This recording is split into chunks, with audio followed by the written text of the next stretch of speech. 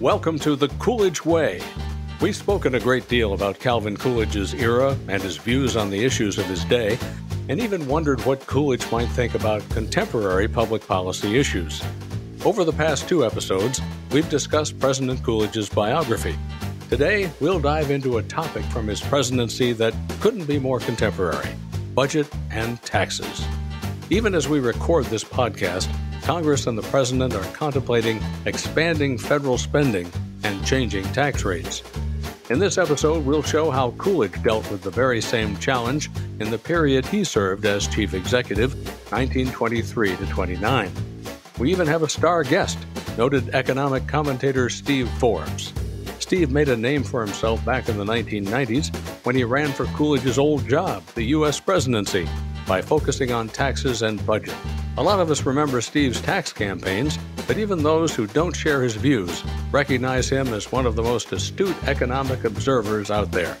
Mr. Forbes has traveled to Plymouth Notch to speak at the Coolidge Summer Gala, including one year where he and his daughter made it to the presidential birthplace by bicycle.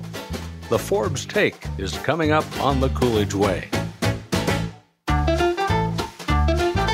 I'm Jim Douglas, four term governor of Vermont and big fan of our 30th president, Calvin Coolidge. Coolidge was a thoughtful man. Taking his perspective on governmental do's and don'ts, we evaluate today's important challenges. And we'll always ask, what would Coolidge do? This is The Coolidge Way, proudly presented by the Calvin Coolidge Presidential Foundation.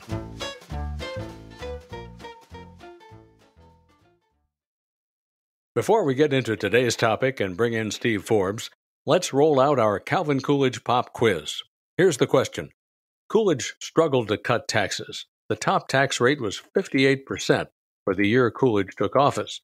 To what level did Coolidge and Congress manage to bring the top tax rate down in their 1926 reform? For comparison, here's a hint.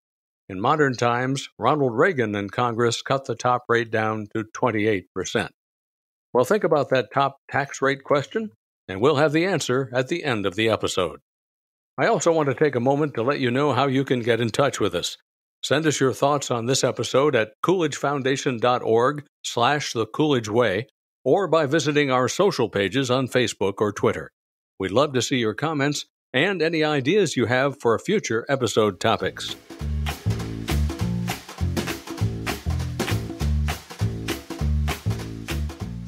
Our previous episode concluded in August 1923 with stunning news for a vice president who happened to be on vacation at his father's house. The president was dead. Just hours after the news was delivered that Warren Harding had died, Coolidge's own father swore the new president in. The simple ceremony, conducted in the wee hours of the night by kerosene light at the Coolidge home in Plymouth, Vermont, recalled Abe Lincoln, the Homestead inaugural also symbolized the kind of simple presidency that Coolidge would offer America. And Coolidge felt ready. I think I can swing it, he said. But what was it that this humble new president wanted to swing? The priority was ensuring America could continue to grow. To Coolidge, that meant ensuring that the environment was friendly to the people who can give Americans what they needed most of all jobs. The work of ensuring a job creating economy started with Andrew Mellon, Coolidge's Treasury Secretary. Under Harding, Mellon, already at Treasury, had initiated a series of tax cuts. Coolidge now promised Mellon that he would put presidential muscle behind the tax cut campaign. What kind of verbiage did President Coolidge use to make sure people knew he was serious? Serious rhetoric. For example, at one point, Coolidge told Americans that I will bend my energies to a tax and budget program. The presidency isn't merely leadership, the presidency is also delegation and partnership. As we'll hear today, Coolidge partnered with a number of cabinet officers and agency heads. One was the Treasury Secretary, Andrew Mellon. The quiet Coolidge and the even quieter Mellon made an odd pair. How can two silent guys write great plans and usher them through Congress? Those who observed this odd couple joked that Mellon and Coolidge conversed in pauses. Yet for two silent guys, Coolidge and Mellon did come up with a complex plan and executed it. Why the urgency? In the course of World War I and through great expenditure in lives and federal monies, the United States had secured a new lead in the world economy, surpassing the British Empire. But sustaining that first place spot depended on our relative competitiveness in the world.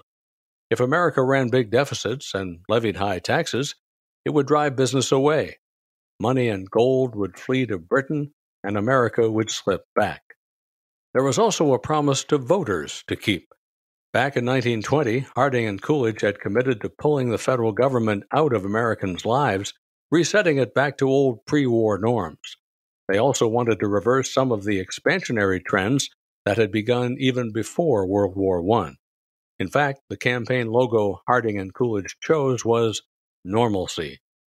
Now let's bring in our special guest, Steve Forbes. First, let's set the stage.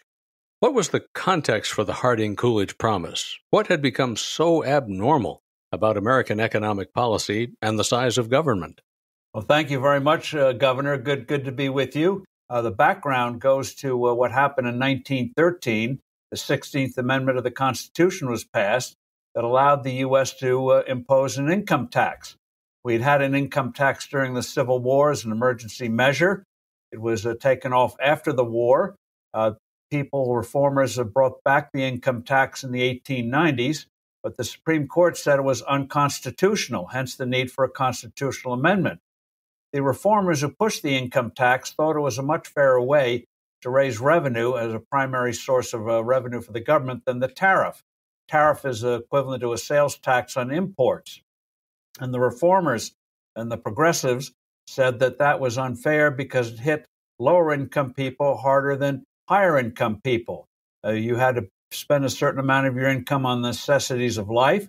Uh, for lower income people, obviously, that was a greater percentage of their income than for those who had more resources.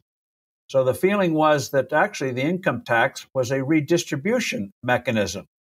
It would uh, take money, uh, more money from those who had the resources, their reasoning went, take less from uh, working people. And so they thought tariffs would come down as the income tax was uh, put in. So the income tax was uh, enacted in 1913 after the amendment passed. The highest rate was 7%. And then came uh, the advent of World War I. And as we know, wars, especially major wars, are huge, voracious consumers of, of resources, not just human lives, but resources in terms of money. And so the income tax soon during World War I had a rate not of 7%, but of 77%. And uh, the idea was gee, if you raise the rate, you'll get more revenue. But actually, we started to see a phenomenon that Coolidge recognized, that Ronald Reagan recognized, that John Kennedy recognized when he was president. So, what happened in the 1920s as a result of those high tax rates? And that is when rates reach certain high levels, guess what happens? People find ways not to uh, to get around those extremely high confiscatory levels. So, just one little factoid: between 1915 and 1918, uh, the top income earners in this country, uh, the number of tax returns, income tax returns, fell by half between 1915 and 1918 when the rate went from 7% to 77%. And so uh, the revenue anticipation wasn't there. After the war, World War I, uh, the Wilson administration did recognize that uh, 77% rates were counterproductive, but they were very timid about doing anything about it. They only reduced the rate to 73. So here you have the Harding uh, Coolidge administration coming in in 1921. Well, Steve, fulfilling the Harding Coolidge promise meant reducing the size of government and the rate of tax. Now, the executive branch didn't have the power to get rid of the entire federal government, but Coolidge could surely cut the federal government back. The President and Treasury Secretary Mellon, together, likewise, didn't have the power to end the income tax, but they could talk Congress into lowering the income tax rate down from that prohibitive level. So, how do you accomplish that? Uh, they cut spending, slashed spending almost in half. They took off wartime controls. Uh, people don't remember, but the telephone uh, companies, what we call telecommunication companies today, they were nationalized by the government during World War I, as were the railroads. Uh, those measures were rescinded. So spending was slashed and taxes were cut. Andrew Mellon became the first, uh, became the Secretary of the Treasury under Harding and then uh, Calvin Coolidge. Uh, Mellon was a formidable industrialist from Pittsburgh, had interests in steel and oil and other industries. He'd probably rank in the top five of the Forbes 400 if we had it back in those days. But Mellon recognized, just from own personal experience, that very high tax rates were counterproductive. It uh, funneled your energies from being productive and starting new and growing enterprises to avoiding the tax collector. So you had various ways to uh, get around the tax, whether it was buying municipal bonds, setting up a personal, uh, your own personal corporation, individual corporation. There are various devices uh, used to get around it. So uh, uh, Mellon pushed for cutting those confiscatory rates. Uh, they had some success. They cut the top rate from 73% down to 58%, uh, increased the exemptions, and did something that sounds like a, a new tax, but actually was the opposite. Was the first capital gains tax up until uh, that Revenue Act, Governor? The capital gains was considered ordinary income.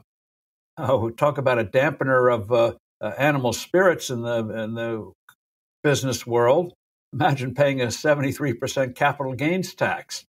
So uh, they put one in at a statutory rate of, I think, about 12.5%, started to hack away at the uh, excess profits taxes from the war. So Mellon was disappointed by the scope of it, but it certainly got the economic ball rolling. The U.S. came out of that depression very quickly, and within a couple of years, we we're at virtual full employment.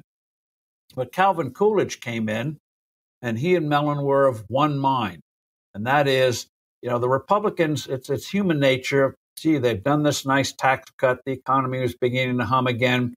Tendency it would be to rest on your oars.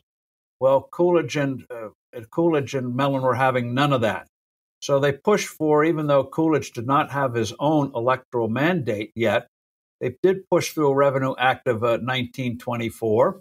Uh, they cut the top rate from 58 to 46 percent. Again, uh, expanded the number of tax brackets so it would hit people uh, less.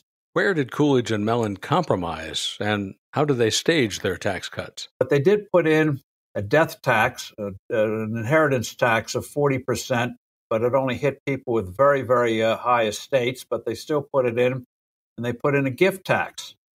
So uh, again, they were disappointed by the scope of it. But after Coolidge won a resounding reelection in 1924 in a hard fought three way uh, race, we had the Democrat, you had Coolidge as the Republican, but you also had Robert La Follette as the progressive candidate, very strong candidate, who uh, got 18% of the vote, around 18% of the vote. So Coolidge, even though it was a three way race, he won a majority. The Republicans were firmly in control of Congress. And finally, uh, Mellon and Coolidge got the kind of a Revenue Act, Tax Cut Act that they wanted. And so they cut the top rate from 46 down to 25, slashed excise taxes, got rid of the death tax, got rid of the gift tax. So uh, they and and they did a lot of good things. Now it's important to realize it was not just income tax, but excise taxes, as you know, are sales taxes on particular items, uh, like uh, movie tickets or lubricant or oil uh, the things, uh, daily things you buy, candy bars and the like. And so they cut those taxes. So uh, in effect, they're cutting the cost of living. And even though they had cut the, even though starting with uh, Harding, uh, they cut the top rate from 73% down to 25%. Well, in modern times, economists emphasize efficiency when they argue for tax cuts. They figure that lower rates foster more business activity. Coolidge and Mellon thought about efficiency too. They theorized that increased commerce might lead to higher tax revenue than was expected for the federal government. So Coolidge and Mellon wanted to try out this experiment. Mellon called it scientific taxation. Now, Steve, what were the results of Coolidge's and Mellon's experiment with scientific taxation? Even though they did that, between 1923 and 1927, the amount of income tax, first, the receipts went up, not down even though the 26 Revenue Act was made retroactive. So uh, you got uh, the tax cut in 1925. and not just having to wait to 26 or 2019, 27. So you got a nice bonus there. Usually they only make tax increases retroactive, but they made the tax cuts retroactive. So Coolidge managed eventually to get the top rates down low. But what about the wealthy? Did they pay less in taxes when the top rates were cut? That would be intuitive. The top income earners, who uh, in 1923, the, the, the top people paid 28% of the federal income tax. By 1927, even though the tax rates had been cut by almost two thirds, they were paying 50% of the tax receipts collected, and the amount of money collected went up, not down. So, by creating this benign environment, uh, Coolidge, uh, working with closely with Andrew Mellon, uh, brought about a very, very conducive environment for innovation. And you look at the 1920s, and there was a fantastic decade. People think of it as flappers and stuff like that. Great Gatsby it was actually an extraordinarily innovative decade. But experiments and utility weren't all Coolidge was thinking about. To Coolidge, tax reductions were more than just prudent or useful. Tax reductions were morally necessary. Taxing at rates of 50% or 40% took away too much of a person's work. Taking too much of someone's property was, as Coolidge put it, legalized larceny. Here's Coolidge living history performer Tracy Messer quoting from a 1925 speech. I favor the policy of economy not because I wish to save money, but because I wish to save people. The men and women of this country who toil are the ones who bear the cost of the government. Every dollar that we carelessly waste means that their life will be so much the more meager. Every dollar that we prudently save means that their life will be so much the more abundant. Where did all these ideas in Coolidge's brain come from? not just from Mellon and his experience in steel or finance, but also from the president's own boyhood experiences in rural Vermont, my home state. The kind of New England farmers Coolidge grew up among couldn't afford waste. As Coolidge recalled, My fundamental idea of both private and public businesses came first from my father. He had the strong New England trait of great repugnance at seeing anything wasted. He was a generous and charitable man, but he regarded waste as a moral wrong. In fact, Coolidge chose humble New England images when he talked about the mighty federal household. His father ran a cheese cooperative in Plymouth. You can still visit the updated version of the cheese factory today, where you can buy Plymouth artisan cheese and also take home some garlic peppercorn cheese. Anyhow, Coolidge likened his budget cuts to cheese paring. What strikes me as someone who dealt a lot with budgets is that to get those budget and tax reductions required incredible discipline and determination. Coolidge displayed that determination by making nearly everything in his life about budget and taxes, right down to the White House pets. At one point, the mayor of Johannesburg sent Coolidge twin lion cubs. Instead of traditional White House pet names like Bo, Barney, or Major, Coolidge named his cubs Tax Reduction and Budget Bureau. To deliver on the budget side, Coolidge teamed up with another partner, Herbert Mayhew Lord, director of the newly created Bureau of the Budget. With Mellon, Coolidge crafted a set of laws that cut taxes in half. With General Lord, Coolidge achieved the federal spending reductions. How did Coolidge and Budget Director Lord work? Well, as I myself learned, saying no to people who come into your office is only possible if you're well prepared for the meeting. So Coolidge and Budget Director Lord scheduled their own prep sessions before cabinet meetings. Therefore, when the time came, they were ready to say no. Together, Coolidge and Lord managed to reduce the national debt and cut the federal budget. The change in mindset the two men sought was sweeping Yet no detail escaped their attention. You can imagine Coolidge and Lord together, head to head, marking cuts with an accountant's pencil. Coolidge and Lord found savings of $50,000 per year on the fabric for post office bags. The red tape used to wrap federal paperwork was replaced by a cheaper white string, cutting red tape by cutting red tape from the budget. Now, that's symbolic. Let's pause for a minute. You might hear lawmakers today talk about budget cuts, but what those lawmakers often mean by cuts is really reductions in increases. In Harding's and then Coolidge's time, we're talking about actually cutting the budget, which was hard to do as the population of the 1920s was growing.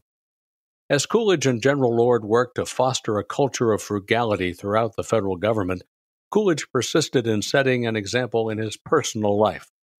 The president urged the White House housekeeper, a real institution named Elizabeth Jaffray, to cut back on her extravagant spending. Better, Coolidge reasoned, for Mrs. Jaffray to shop at the supermarket, where economies of scale resulted in lower prices. Coolidge understood that he could only achieve the political changes he wanted if he lived the same changes in his private life. Well, Steve Forbes, why was it so important to Coolidge to combine tax and budget reductions? Yeah, when you say budget, you say balancing the budget, people yawn and think, oh, you're a crimped person uh, and you're going to hurt people and uh, you have a sort of a Scrooge like attitude towards the world. And uh, it's quite the opposite. When you are restrained in government spending, you, uh, you give, leave more resources in the hands of the people. Government does not create resources. Government seizes resources, whether through taxes or through borrowing or through the stealth tax of inflation and then they uh, redistribute or spend them, those resources. But people create the resources. And Coolidge recognized uh, profoundly that when you left a maximum amount of resources in the hands of free people, by golly, those resources proliferate and people do better, raises uh, real wages rise up, the standard of living improves, as we saw in the 1920s, and uh, people are uh, better off. So uh, the idea that when government spends, that shows you have a heart. No, it shows you are uh, ignorant of what enables people to have a better future. And by the way, not, the 20s was such a, a productive decade that uh, if we hadn't had the Great Depression, which uh, then was followed with World War II, the interstate highway program of the 1950s would have taken place in the 1930s. There's already thought being given to having a national highway system, a national highway grid. Unlike railroads, uh, you could not go from the East Coast to the West Coast uh, on uh, on a railroad. You have to keep changing in Chicago and elsewhere to get another go to another station, get another railroad to get to where you ultimately wanted to go. So they wanted a more efficient uh, highway system, a national highway system. And so uh, we would have had it uh, the, in the 30s instead of with Dwight Eisenhower who began the Interstate Highway Program in the mid 1950s. So America might have advanced faster. But going back to our subject, as the 1920s progressed, Americans, including working Americans, profited. The Roaring Twenties, as the era is known today, were not fake news. That decade proved to be one of the most prosperous periods in American history. New inventions came along at a rate they still study at Harvard Business School. Many hallmarks of modern life began to become commonplace during this period. Home appliances to make fast work of strenuous chores, Ford Model A's, indoor plumbing, electricity, and the radio. Because of the widespread productivity gains throughout the economy, workers could take Saturdays off, then a new idea, but something we take for granted today. Well, Steve Forbes, anything else to add to your take on the Coolidge administration and growth? Do you think smaller government fostered growth? It did indeed, because by freeing up resources, uh, there are uh, people who uh, could use those resources productively could have a chance to uh, do just that. And so you, you, look at all the things that flourished in the 1920s, the automobile. Yes, we'd had a lot of automobile sales before the 20s, but sales really took off as middle income people could easily buy automobiles. Uh, they're being made cheaper and cheaper. Uh, this led to the greatest road building program since the days of the Roman Empire. Uh, gasoline stations by the tens of thousands sprung up from private investment. And this is in contrast to, say, what the Biden administration wants to do now in spending tens of billions of dollars to have electric recharging stations for electronic vehicles. Well, if the people really wanted electronic vehicles, uh, private uh, investors and entrepreneurs would create it and create it very efficiently and abundantly, just as was done with gasoline stations, really getting underway in the 20s. You also had electricity coming into its own. Electricity obviously had been around for a, a couple uh, for years uh, when Edison uh, showed what, how you could uh, have electric lighting and the like. But it wasn't until the 20s that it really took off. Often with the innovations, it takes a 20 year period when uh, people really begin to get the knack of it and when it becomes very, very widespread. So in the 20s, you had more uh, homes getting, having electricity. You also had millions of homes getting telephones for the first time, indoor plumbing for the first time. Today, we think of the arrival of the internet as a shift that changes everything. You've described how the arrival of electricity transformed the country in a very similar way. You saw the rise of labor saving devices, uh, whether it was uh, uh, vacuum cleaners, electric vacuum cleaners, electric irons, uh, refrigerators, uh, stoves, and also one of the great inventions of all time, the washing machine.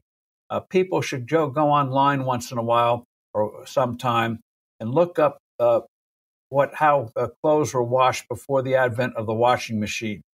it wrecked the hands. It was a very, very tough thing. And now you could just plop the clothes in a washing machine and swoosh, it would be done without wrecking your hands. And so, what this did was free up time for women who were uh, in the homes. They had more free time, more independence. This led to the rise of beauty parlors and the like. Women uh, got the right to vote after World War One. So it was a time where, uh, for millions of women, was the first taste of liberation. Obviously, a lot more had to be done but it was the beginnings of uh, having uh, rights for women become a reality, uh, thanks to uh, not only the right to vote, but also these uh, devices that enabled them to have more control over their time and spend time on more fruitful and productive things. And so you look at the rise of movie theaters. Yes, we had movies before of the 20s, but they really boomed in the 20s. Every town in the country had its own movie theater uh, first silent films and then uh, sound in the, uh, the end of the decade. Uh, you had the rise of high tech in terms of radio. Today we think radio, yawn, big deal. But the idea of being able to transport a human voice over the air without a wire was just absolutely stunning to people. First radio station came out of Pittsburgh uh, around 1920, 21. And uh, people wondered, what do we use this for? Do we use it as a, community bulletin board?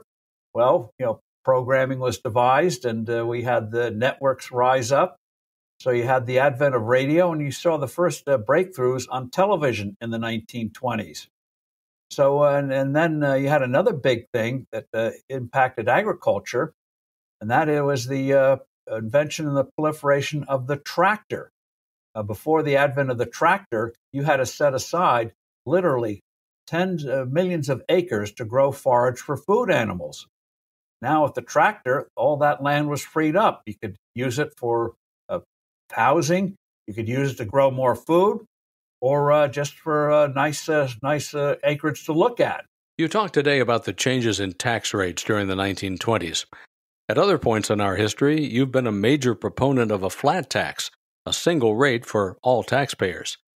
Tell us what the advantages of that would be, and do you think it's something that Calvin Coolidge would have liked? I think Calvin Coolidge would have loved the flat tax. I think he would have seen it not just as an economic measure, but as, as something that is moral. What is not fully recognized about Coolidge was that he approached uh, how he lived. He approached public life with a sense of morality, not in the sense of uh, saying, do this, don't do that, but in a profounder sense of uh, trying to do what is right and uh, not uh, being uh, tyrannical towards people. And so uh, he saw a moral dimension of doing right in the public sector. And the flat tax is an example of that. As you know, today, the federal income tax code and all of its attendant rules and regulations come to uh, 10 million words and rising. Nobody knows what's in it. We know that it's a corrupt cesspool. Uh, they keep cluttering the code. Oh, we're going to do good with this credit or that credit or this thing or that thing, and uh, it uh, nobody has faith in it. A lot of people uh, now don't even pay income tax because uh, uh, they've raised, thankfully, the exemptions enough.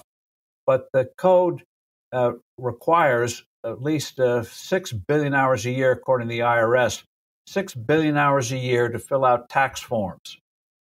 And then uh, experts tell us that it takes over $200 billion a year. Some say it's as much as 400 billion that people spend in money and time filling out tax forms.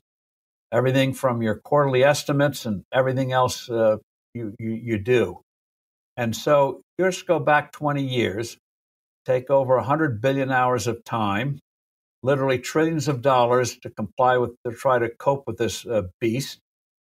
And imagine if all those resources instead had gone to new products, new services, new medical devices, new uh, cures for diseases, how much better off we'd all be having all that brain power going for something productive instead of coping with an incomprehensible monstrosity. So I think Coolidge would have glommed onto it right away. Have a single rate. You'd have generous exemptions for adults and for kids.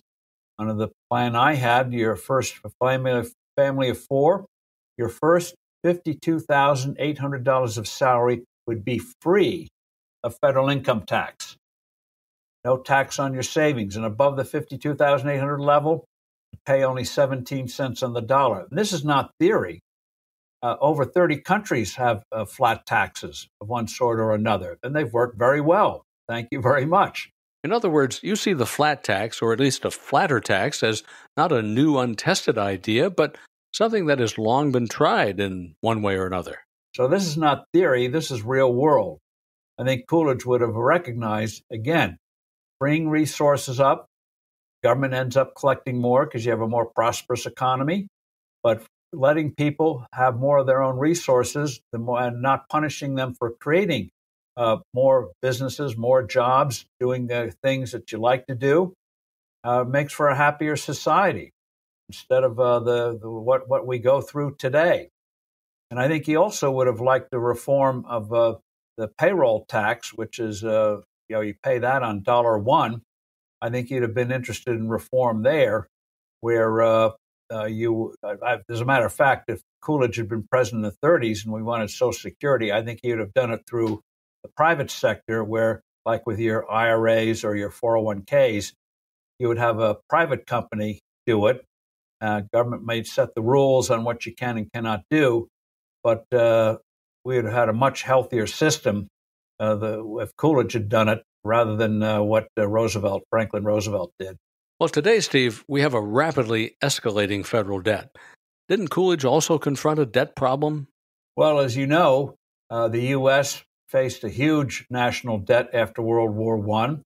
Not as great as World War II because we weren't in the First World War for the length and period that we were in World War II, but was still sizable huge increase. The amazing thing is, under Harding started, but Coolidge really pushed it by having uh, careful budgeting and by these uh, tax cuts that ended up having the rich pay more and uh, the economy blossoming and being so innovative and productive.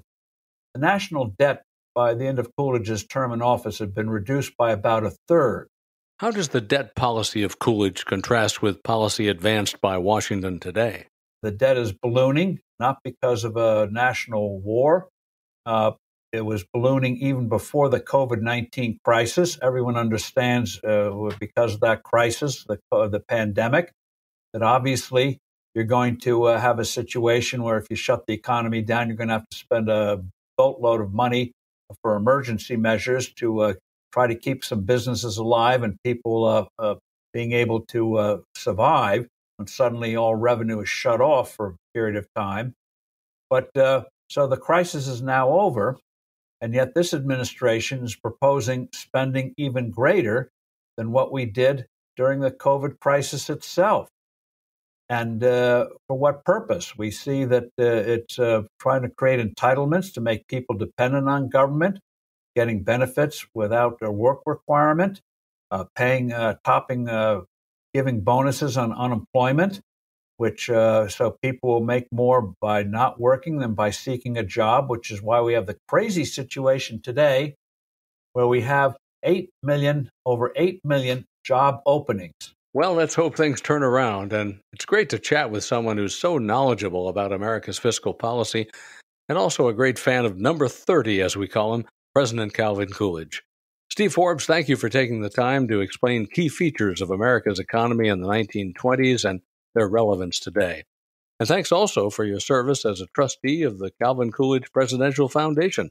We really appreciate your being with us. Well, I'm delighted to be with you, Governor, and uh, maybe uh, you should, uh, even though you've uh, earned a great retirement, maybe you should uh, get back into public service again and uh, revive, help revive the Coolidge spirit. We, we, we, we need it.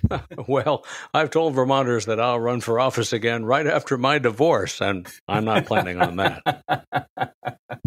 I know the same pressures.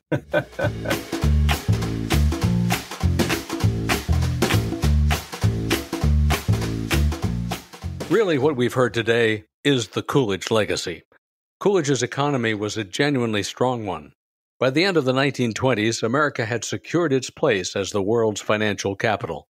Franklin Roosevelt didn't follow Coolidge's philosophy in the Great Depression, but later presidents did, especially Ronald Reagan, who launched his own round of tax cuts on the Coolidge model. Democrats have also replicated the Coolidge move.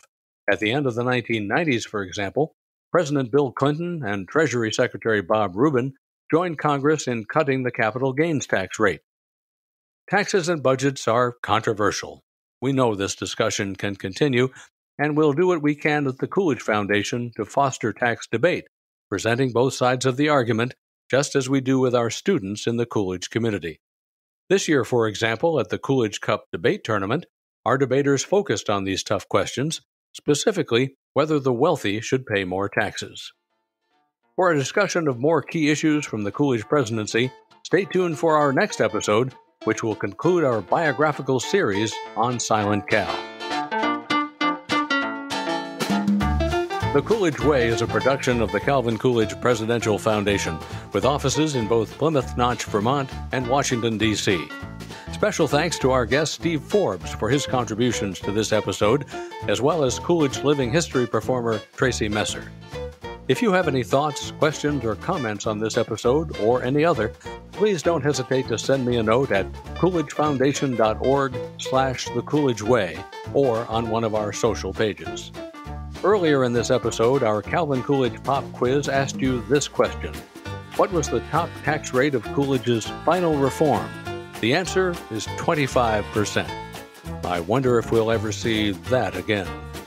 I'm former Vermont Governor Jim Douglas. Thanks for listening, and I hope you'll join us for another episode of The Coolidge Way